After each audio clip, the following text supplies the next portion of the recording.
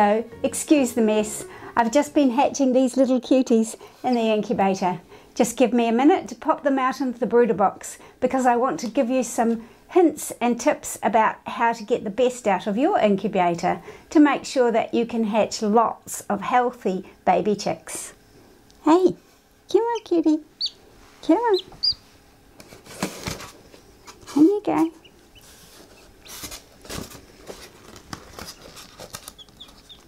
Time to go out to the brooder box, eh? Come on.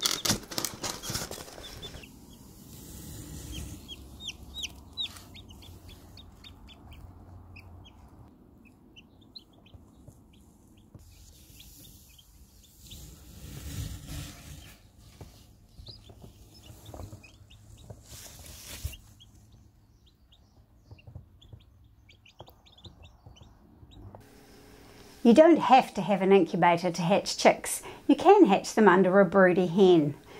Which is best? Well, I've got a video about that. You can check it out. They both have their advantages, of course. Of course, to hatch them with an incubator, you need an incubator. I'll assume you've already bought one of those based on how many eggs you want to incubate at a time, how automatic you want it to be, and how much you have to spend.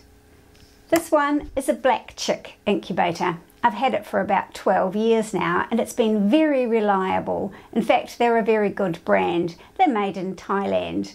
I don't think they make this particular model anymore. It's a top hatch and I think they only make the bigger models now, not the one that just does 12 eggs at a time. Give some thought to where you want to set up your incubator. Ideally, you want it in a room that has a fairly steady temperature and humidity and is away from the hustle and bustle of daily life. This room stays pretty cool throughout most of the day, except on a late summer's afternoon when the sun comes streaming through the windows. So I have to leave the curtains closed if I'm doing incubation in the summertime.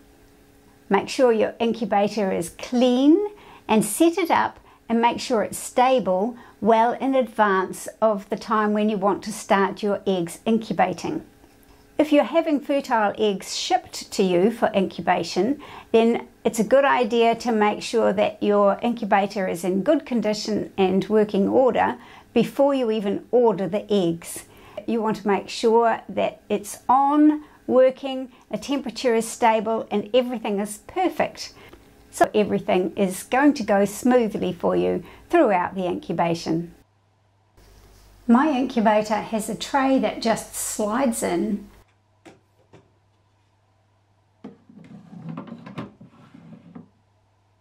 and a set of rollers that sits on top.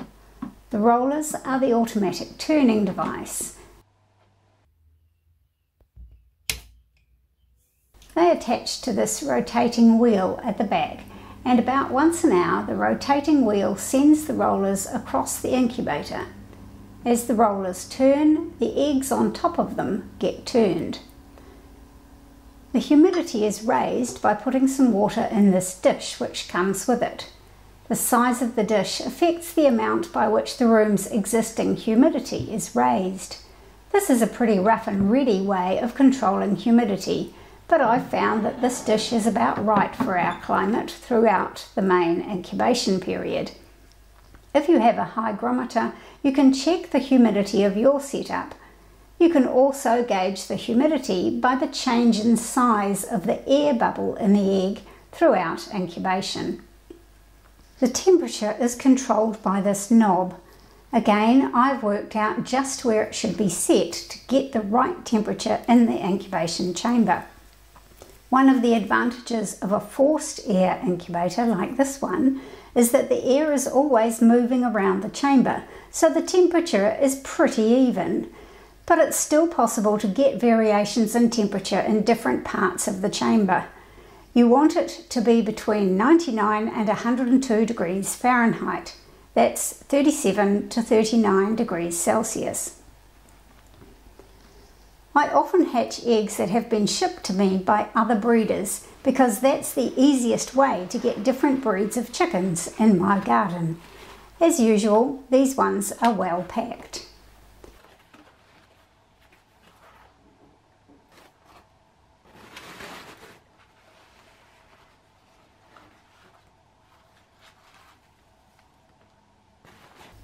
I mark the eggs to identify them and also mark which side is which.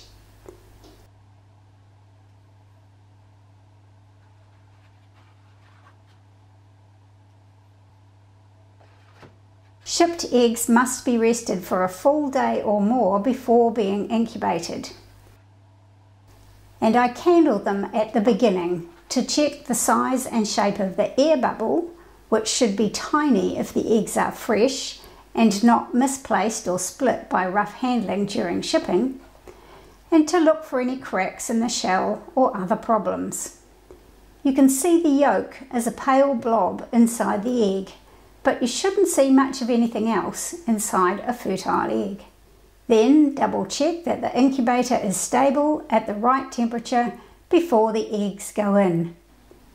Remember, these are not just eggs. We hope there's a tiny chick embryo inside, so handle them very gently.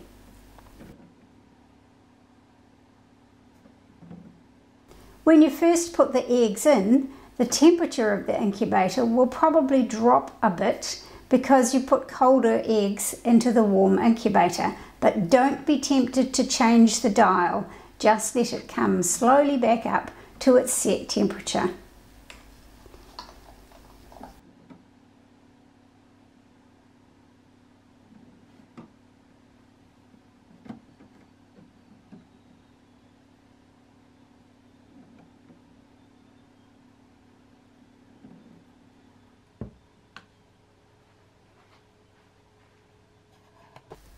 The amount of airflow can be adjusted using these two vents.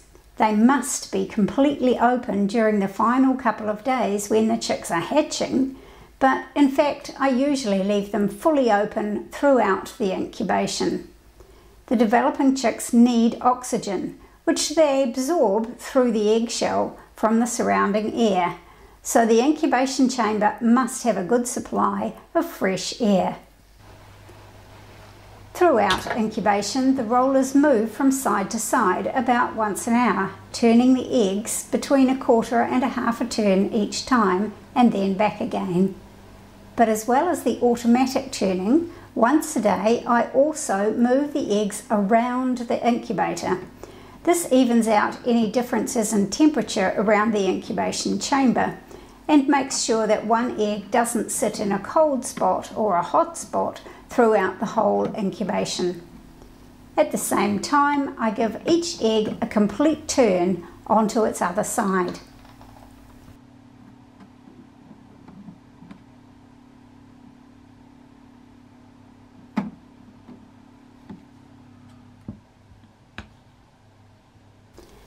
As the embryo grows, you can see its development by candling. This is not strictly necessary, but I find one of the great pleasures of incubating eggs is watching that baby embryo grow and develop. These eggs are brown eggs, and the darker the shell, the harder it is to see much, but it helps if you know what you're looking for. By day five, what you can mostly see is actually the eye of the baby chick and some tiny spiderweb-like veins.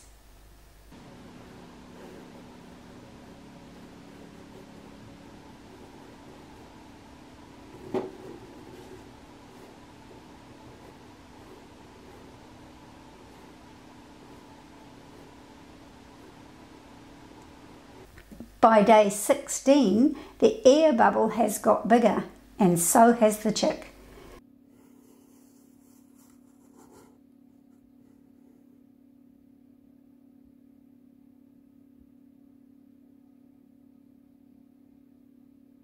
The chick takes up most of the egg by now, although not completely, there's still a bit of room for it to move.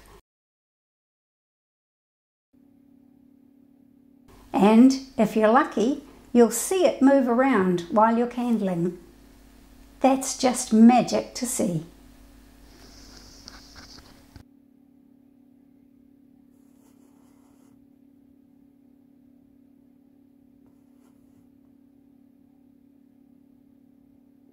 For the last three days, you're going to stop the eggs turning, increase the humidity, and check the temperature doesn't get too high. At this stage, the chicks are going to have their own circulation system and they're starting to produce some heat of their own, so I usually do find that I need to adjust the temperature knob. The way to stop the eggs turning in this particular incubator is to remove them from the rollers and take out the rollers completely and put the eggs back directly on the tray.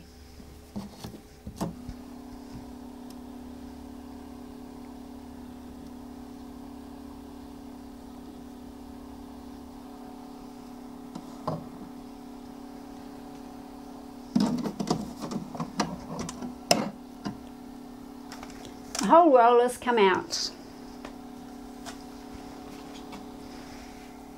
And in the bottom of the tray, I always put a little piece of this drawer liner to give the chicks' legs some really good purchase when they hatch. That helps decrease the incidence of spreader leg.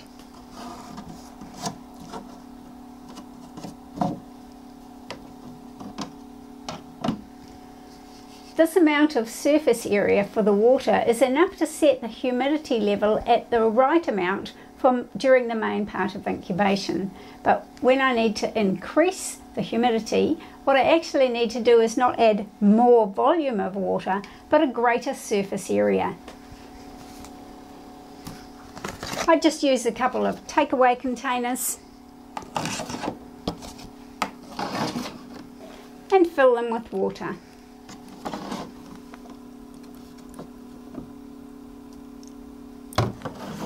And remember, whenever you're adding water, once the incubation has started, always use warm water, not too hot, not too cold.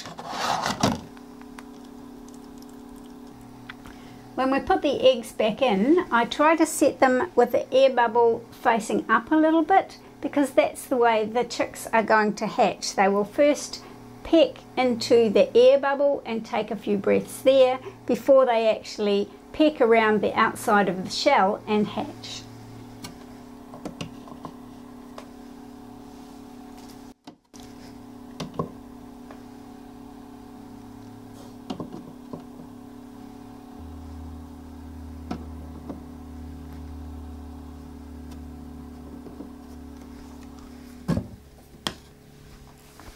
We need to make sure that there's plenty of oxygen for the last three days. So I'll double check that the air vents are both open. But we also need to maintain the humidity at that slightly higher level, especially during the time when the chicks are actually hatching. So try to make sure that the door remains closed throughout the hatching period.